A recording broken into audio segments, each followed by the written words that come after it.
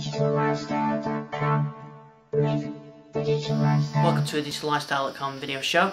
And on this video I'm going to be looking at some of the Media Center features and Media Center centric features of Windows 7. Uh, this is not meant to be a review or a complete uh, overview feature, feature, but it's just some of the things that I've seen uh, while I've been playing around with it over the last couple of weeks and this is running with the, the beta. I've got two machines set up, one uh, the HP Touch Smart which I can show you the Media Center using the Touch UI and this is the main Media Center server and this uh, Samsung NC10 netbook is running Windows 7 and I've set up home group so we can share content between the two. So that's the first thing that I, I wanted to, to look at on the video. A home group is a new feature in Windows 7 where content can be shared between machines. It's not just about Media Center, it can share, you can share music, TV, uh, videos, pictures, uh, documents and when you uh, build a new media, uh, when you build a new PC uh, as it's going through the install it says do you want to join your home group and if it's the first time that uh, you've used home group and it's not it doesn't detect any other PCs on the network running home group it'll say hey okay here's a key to create a home group. And then you put that key in on your other machines um, when it detects the home group or you can do it through the network settings.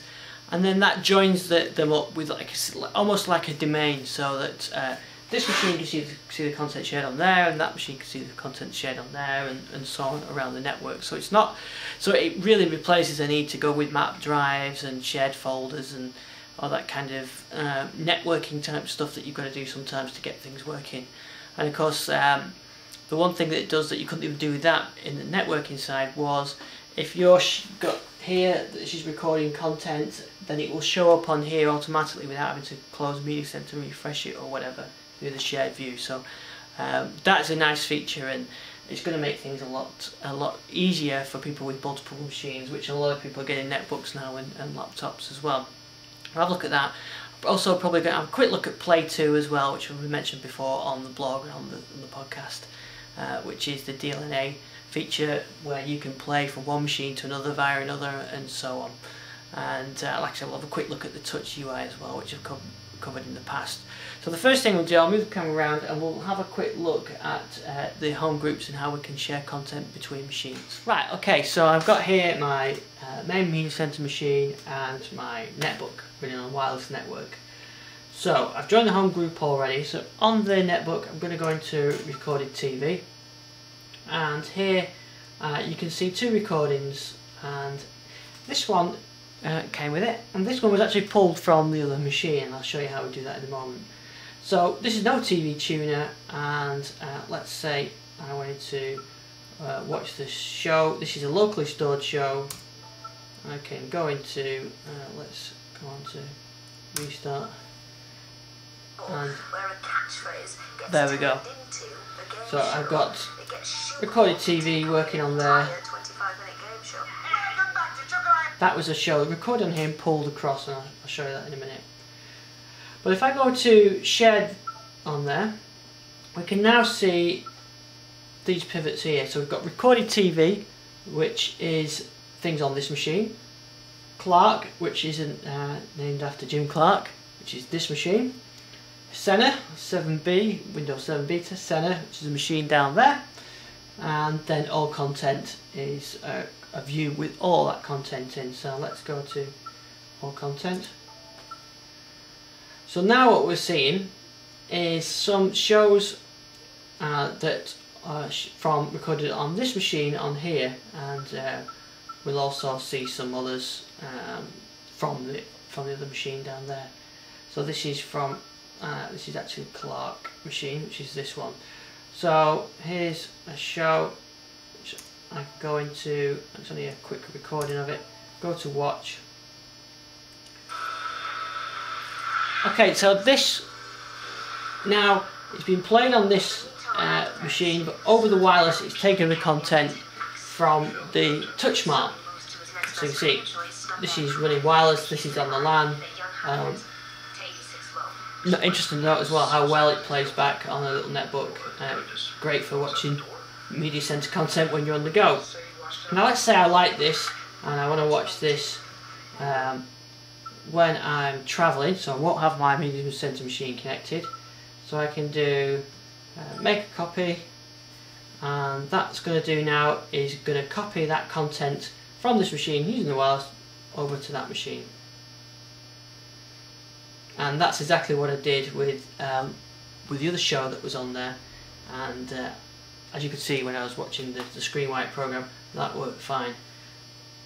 So that's how home group works sharing that way if, if you go over onto this machine so this is my main machine if I go to shared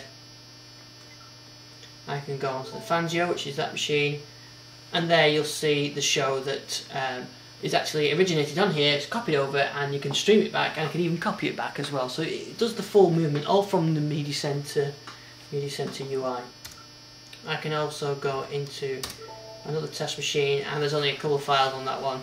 And again I could play that file so that's uh, content stored on the machines.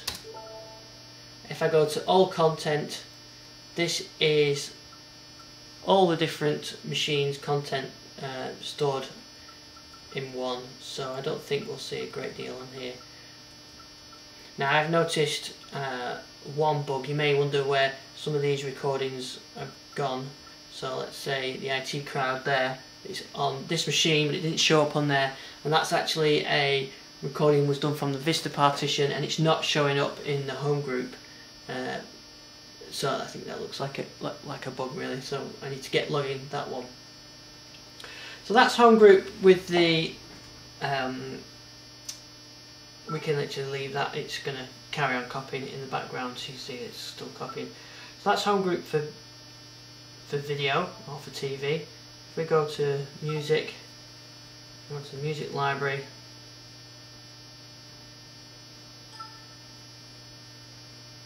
Okay, we've got a couple of podcasts on there. But we can do the same thing with this one. We go up to the pivot.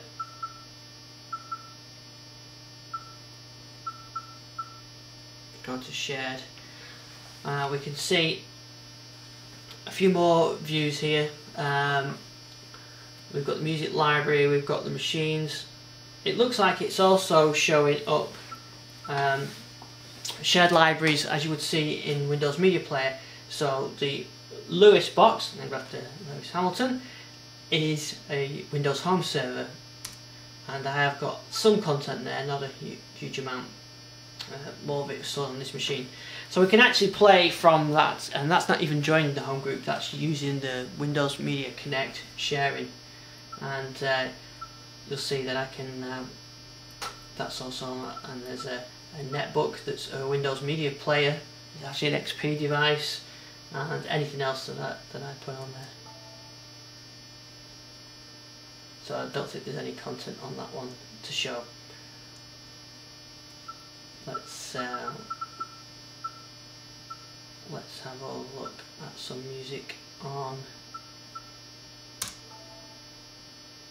Clark. I'm not sure I did any music to that yet, so I'll have to have a look at that. So you can see the idea behind this is I can go onto um, any of the machines and pull content down one central place and have it all running on there oh, there we go some of the music started to show up so this is stuff coming from uh, the Senna box which is the media center machine down there and I can play that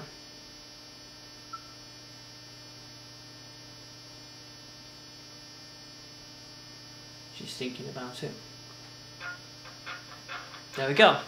So we've got that playing. And also you'll notice that one of the new features of the visual playback. We'll have a look at that when we on this machine. And again, we could we could do that with um, pictures as well and video. So here I'm uh, playing pictures. These are just the sample pictures off the other Windows 7 machine. Um, but as you've seen, through the shed on here, let's see if I can see some on this Windows Home Server box. I don't think I've actually authorized this machine uh, from Windows uh, Media Connect. But what's interesting is it's showing um, machines other than Windows 7 machines when it comes to let's have a look what's on this one I don't think I've shared anything on that one either. Um, I need to authorise that. So you've got your home server, you've got your, all your Windows 7 machines, your Vista machines could all show so show up the picture the pictures as well.